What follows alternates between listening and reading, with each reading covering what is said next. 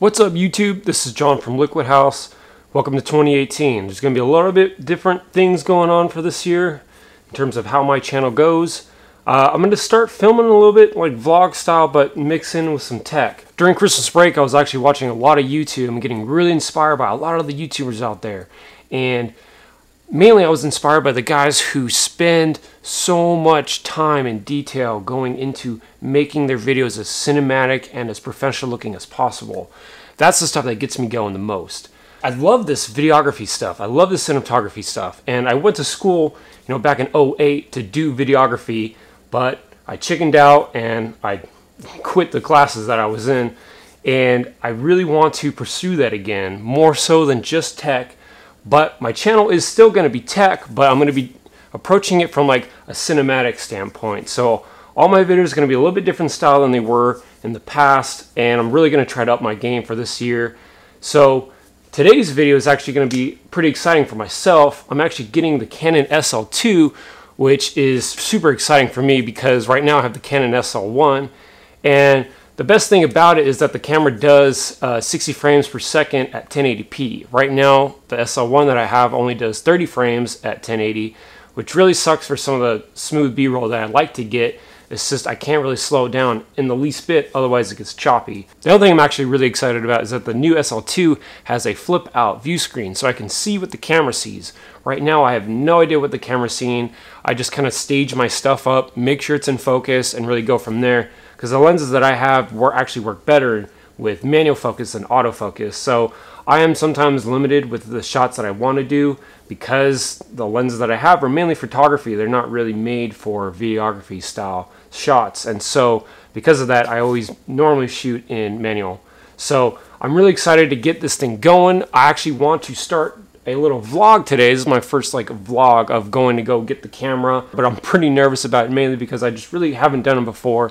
But I want to approach it from a cinematic sense. So it's going to be more than just me going about my day, you know, from the camera's perspective. I want to throw in other shots. I want to throw in some B-roll, and maybe some slow motion, some some cinematic stuff that actually gets you immersed in what my day is consisting of in, in regards to getting this camera. So I'm really excited, a little nervous the camera shop I'm going to go to that has the body. Uh, I don't know if they even allow filming. I'm just going to go in there and see what happens. And uh, yeah, so let's do it.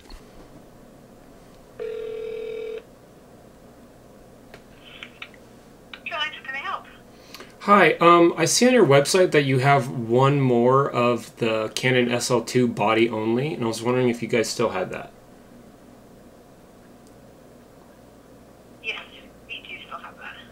Awesome. Okay, sounds good. Thank you. Yeah, no problem. All right, bye bye.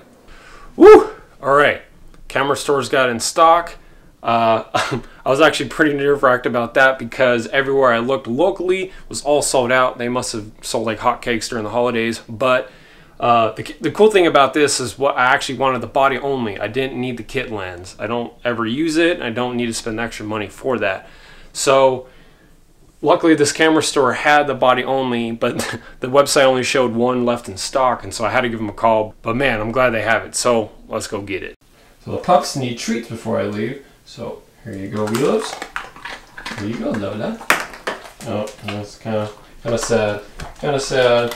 They're very cute pups though. Hi hi hi hi hi hi oh he's so precious. Okay let's do this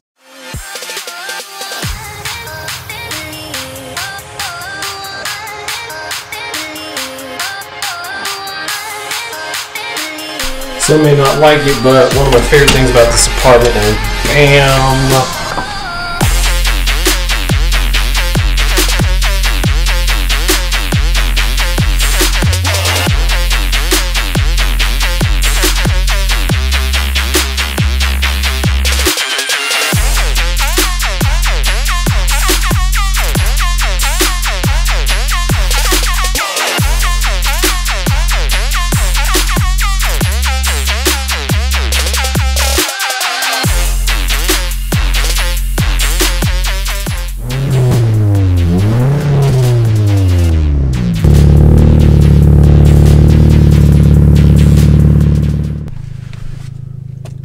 Warm out. It's actually the first warm day we've had in Utah for I don't know how long.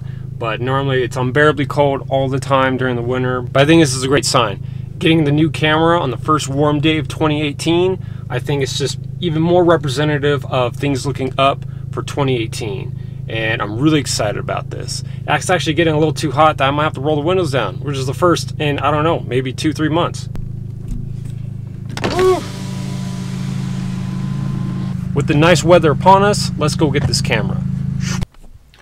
All right, we are here. We're gonna go in here. It's a store called Pictureline. It's a really cool store. It's huge. There's a few more things I actually want to look at and get, possibly for the studio. I'm trying to set up correctly. Um, but yeah, I'll get the SL2 and we'll be good. I am excited. Excited would be an understatement, I believe. This thing is awesome. I have a battery grip on mine, but uh, there's a company named Vello. They made a battery grip for the SL1, and I'm hoping that they'll make a battery grip for the SL2. But the fact that I have to go back to no battery grip, it's exciting. It's it's weird. Um, it'll be nice to have something compact again because the battery grip does add a lot of uh, weight and, and size to it, but it does also include you know versatility in terms of getting your shots and stuff like that. But I am super excited about this thing, so let's go home and we'll take a look at it.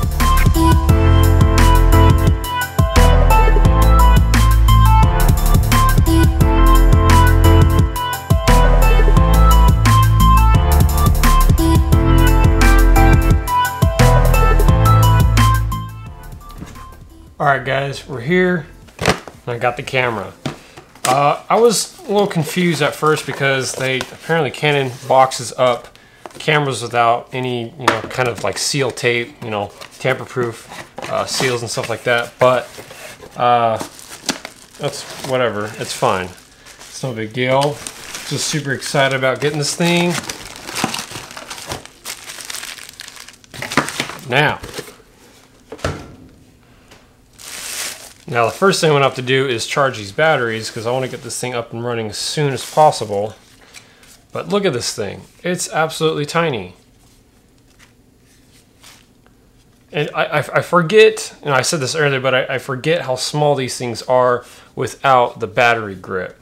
And it'll be nice to have this really compact size for a while because when I got the SL1, they already had a battery grip right off the bat. And so I bought that almost the same time as I bought the camera. And so I went from, you know, Super old camera to the SL1 with a battery grip almost right off the bat. And so I I dealt with the tiny size of the SL1 for just maybe a day or two, but the battery grip went on and I just had that this entire time. So having this really small size camera is going to be really nice to be getting uh, a little bit more actiony shots, if you will, uh, this will help me take it places more often because that was the whole idea of getting the SL1 is I could take that camera anywhere. It was so compact and then the battery grip situation happened. So anyways, and the best part,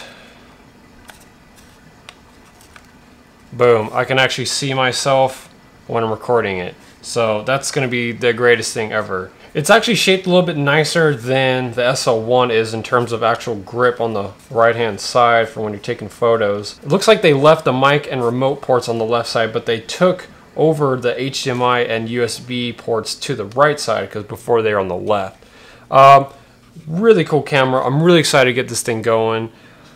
I know it's not the craziest thing ever. It, you know, by all means, it's essentially a startup camera, but it's pretty much how I've gotten every shot you just got to work at it. The way that I that I do my photography and my videography is I don't really have any zoom lenses, and because of that, it makes me work for the shot.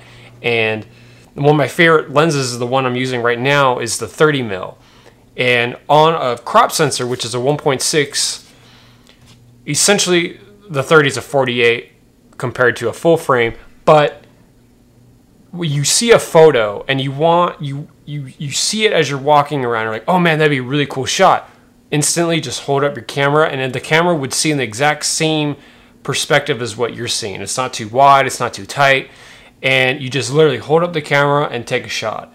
And that's one of my favorite things about the 30 mil. And because of that, you don't find an, a subject that you want to photograph and you know see it from afar like, oh, that'd be a really cool photo. I'm just going to zoom into it and just take the photo. Well, sure, but because you didn't make the distance over there, you didn't take the photo, you know, up close and personal, you just got it from afar. Sure, it'd be a probably good shot, but the memory of you taking that photo or doing that video is is lost. You know, you can essentially be driving on the road, see a really cool scene, and boom, take it with a zoomed in lens, or you can, you know, park the car, pull over to the side of the road, get out, stage a photo, you know, walk around on the side of the road and make sure you you angle that shot out or that video shot out. And when you look back at it a couple years from then, you'll remember exactly what had happened when you took it or when you took that video. So I really like to use fixed focal length lenses. They're my favorite and you get way lower aperture as compared to a zoom lens and also they're probably half the price. Lenses also retain their value immensely, so you could essentially go and buy a used lens off of eBay or something like that that has been meticulously cared for because the people who are own those lenses know exactly how much they're worth and how important they are. Because you can essentially start out with a basic entry-level Rebel even though this has as good a stats as a T7i, if not better in some instances, and get some good glass, and you can go and take beautiful shots or you know, do immense video footage that you wouldn't normally think to assume that, oh, that's just an entry level camera. So in the future, my videos are going to be hopefully a lot better than what they are right now. That about wraps it up for the vlog. I hope you guys really liked the, the footage that I did. This is my first real time doing everything that I did, but in video mode. Normally I'm just always have my camera with me, I'm taking photos, but this is the first real time I said, you know what, let's hit record. Let's pretty much map out my day and see where it goes in terms of vlog. So if you guys like the video, hit the like button, subscribe, share with your friends, and there will be more to come in 2018. All right, see you guys.